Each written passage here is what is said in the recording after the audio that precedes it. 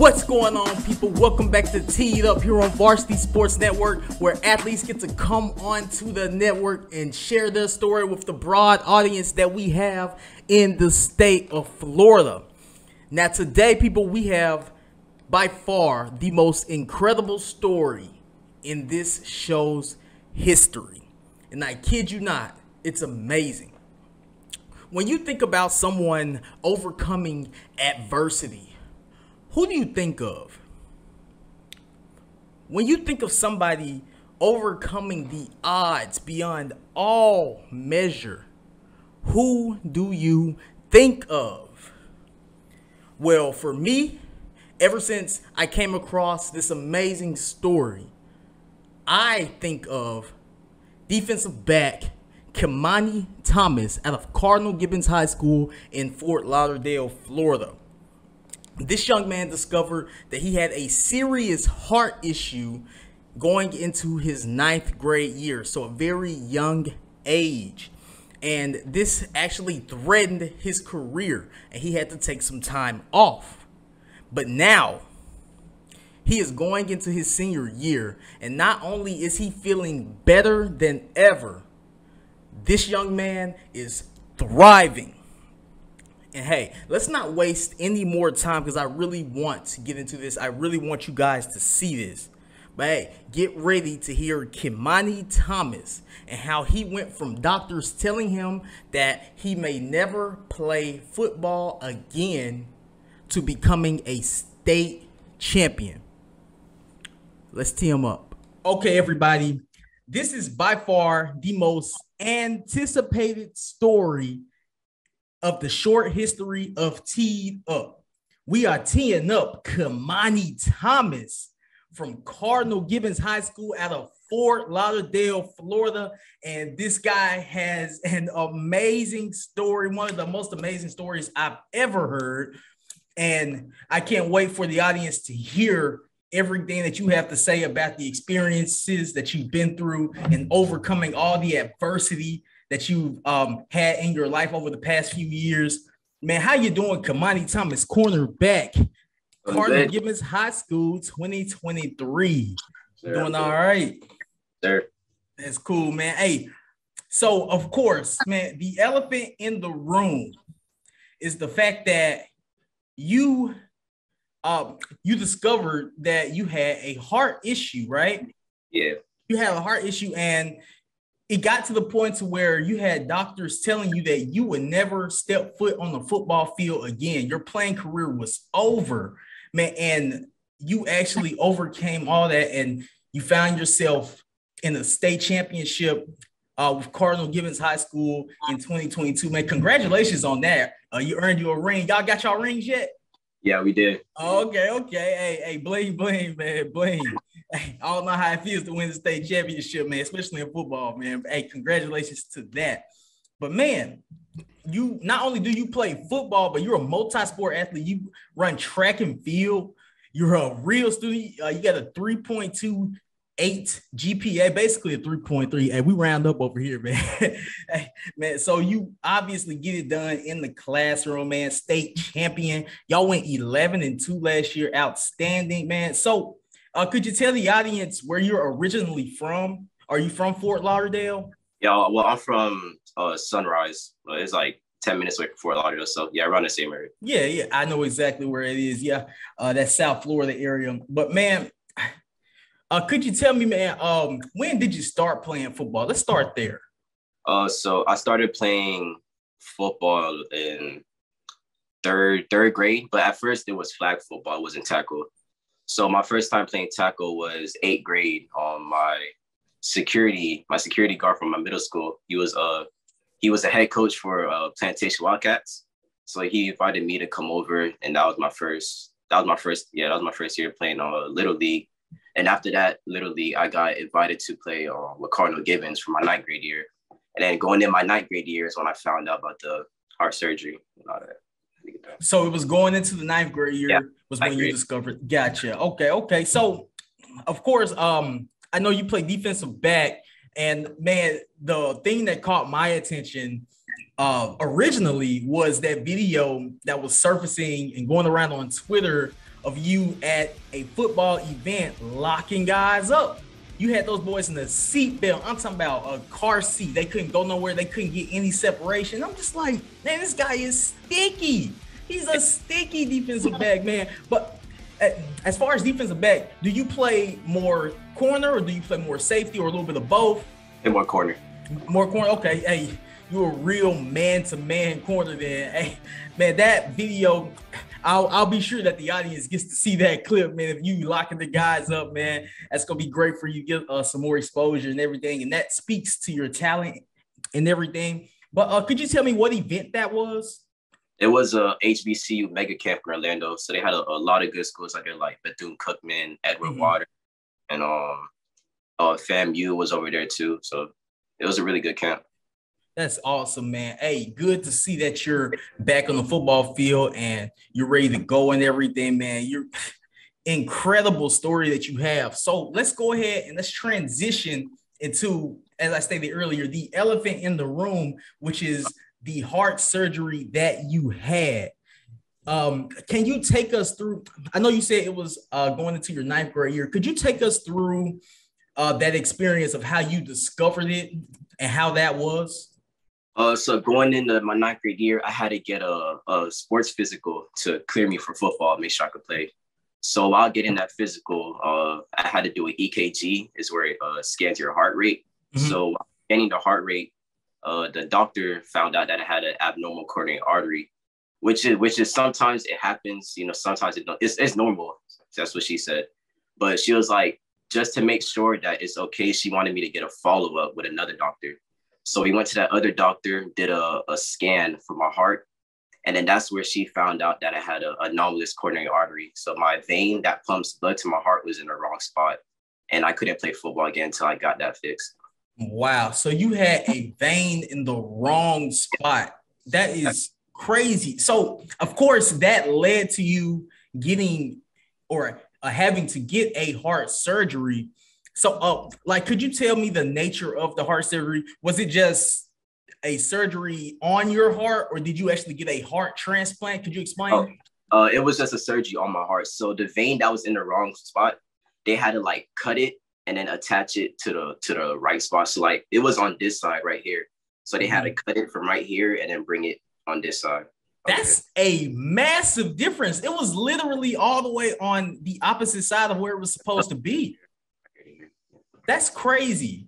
That is insane, man. So, of course, with you hearing all of these things that the doctors are saying that you might never play football again, you probably couldn't participate in sports again. Like, uh, could you tell me um, what was going through your head and how you handled what they were telling you? Like, were you always optimistic, or did you, or was there a little doubt that seeped in there?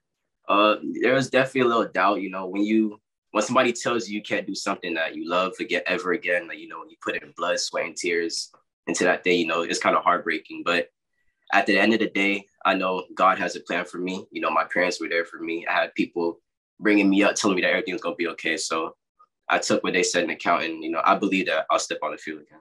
Okay, so so you had faith that you'd actually play again. So and uh, and you had faith in the doctors and everything, the nurses, and from the videos that I've seen of you in the hospital and everything, it's obvious. It's obvious that those nurses and those doctors really, really cared for you and they cared about you. They were so nice. Uh, what hospital was that? It was uh Shands Hospital in Gainesville. Shands Hospital. Okay, okay. If I'm not mistaken, that's uh, a part of the University of Florida, right? Yeah. Okay, okay. So UF Health. I got you. Got you. Yes, sir. Man, so that is incredible. Like, I remember you originally told me that you suffered an injury, and um, I was just like, okay, what could it be? And then uh, you eventually told me that it was heart um, yeah. a heart issue. And I was like, man, that's more than an injury. That's literally life altering, whether you play sports or not. You know, anything that has to do with the heart, you know, it can affect everything that you do in your daily life.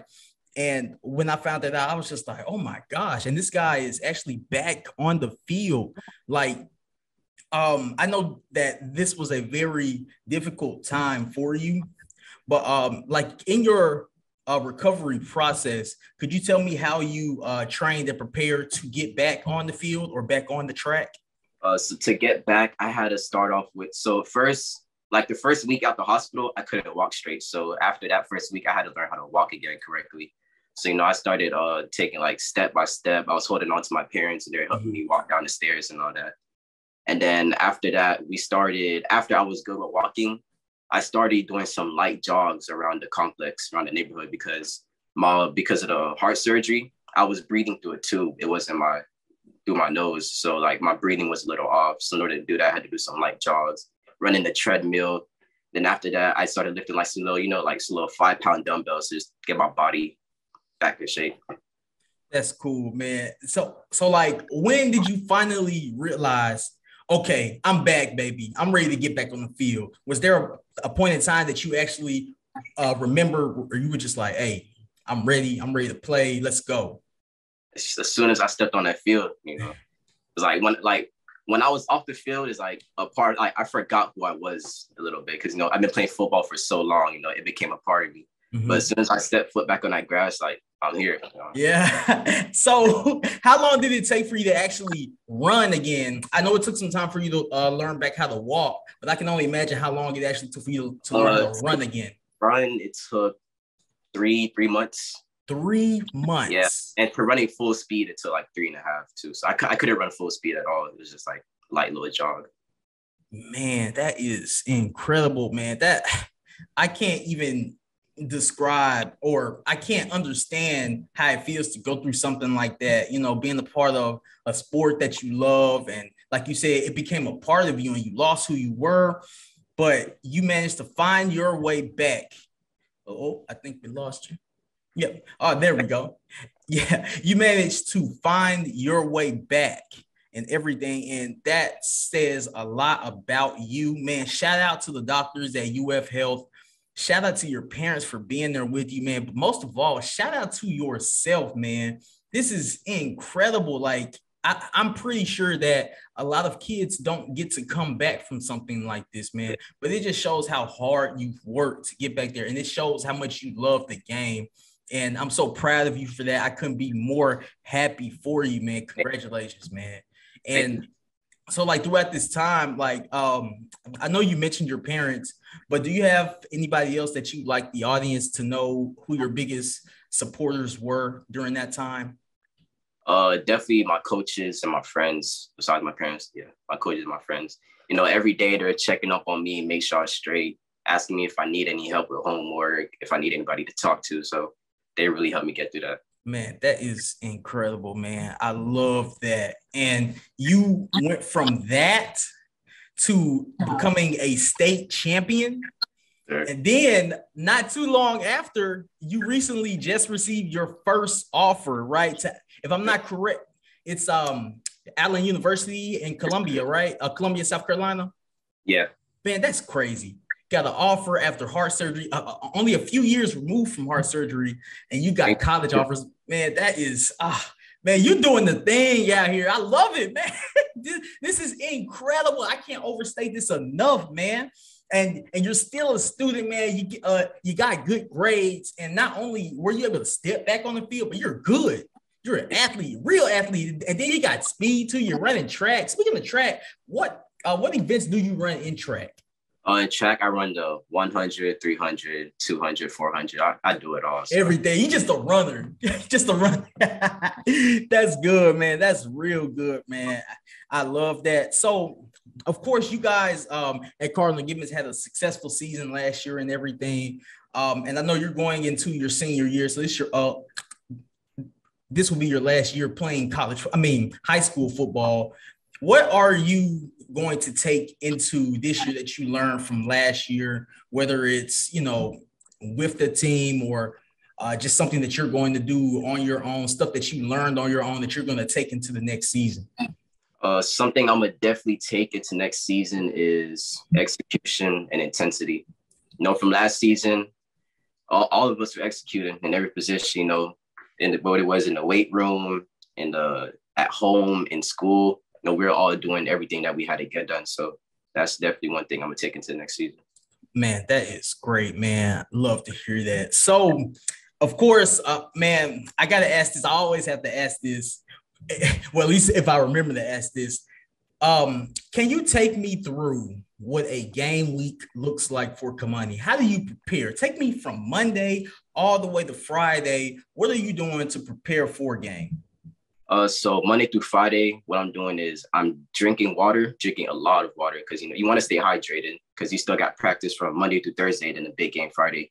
You know you don't want to be in a game, you know, saying, "Coach, I can't do this tomorrow. I need water." So one thing I'm doing is hydrating. Next thing is eating. You know, make sure I get four, three to four meals in every single day. You know, protein on the side. You want to make sure your body is, you know, has the right protein to do what you need to do. Mm-hmm. Uh, another thing I do is uh my focus on my schoolwork too because you know it, you can't focus through practice in a big game if you got other work on the side that you got to worry about. You know, I got to like turn this work in. I got to worry about my grade for that teacher. So, the three things that I do. That's good, man. That's real good, man. So, do you feel like you you're back a hundred percent? Do you feel like you're fully recovered, or do you still experience some issues uh, from your heart issue, or do you uh, just feel fine? I feel normal. Yeah, back hundred percent. Man, that's good, man. So like before you knew, did you ever uh, think that you had any heart trouble or anything, or you still felt normal? The thing, the crazy thing about it is that I had no uh, symptoms. Wow. So, yeah, I had no idea that I had it. I, I was asymptomatic, so there was no symptoms that said that I had that. So that's insane. And you just so happened to have to get a physical and found out that way. Man, that's that's a true blessing right there. You caught it early because I mean, something like that can cause trouble down the line, but you got that. Yeah, you were able to get that fixed early on in ninth grade, man. Good job with that, man. I love it. So, um, of course, another thing I got to ask, man. Um, I'm not sure if you actually watch football or anything, but like, do you have a favorite athlete that you like to watch, or an athlete that you look up to, or kind of mold your game after? Because it's it's a lot of good cornerbacks out there, and it's a lot of good cornerbacks out there from Florida, man. Uh, for me, it's Jalen Ramsey. Oh yeah, oh yeah. yeah. Jalen, I love me some Jalen Ramsey, man. That's a he's a true shutdown corner, true lockdown corner, man. I already know, man. Hey, man, that is just an incredible story. Like I, I couldn't believe it when I heard it, man. And I'm just so proud of you, man.